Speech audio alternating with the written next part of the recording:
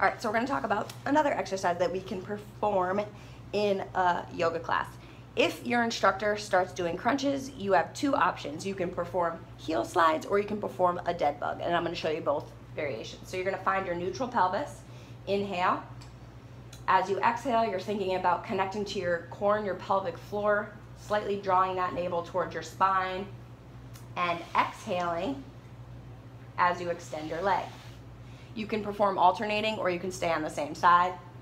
Inhale, and as I exhale, I extend and inhale, bring it back in. So that is your heel slide. Super basic, but it's restoring that connection to the core and the pelvic floor.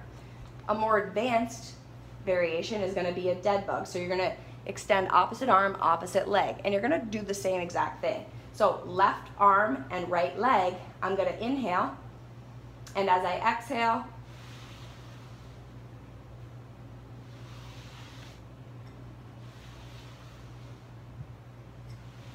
The most important thing here is that you're not shifting your weight from side to side and you're really feeling the core do the work here. All right?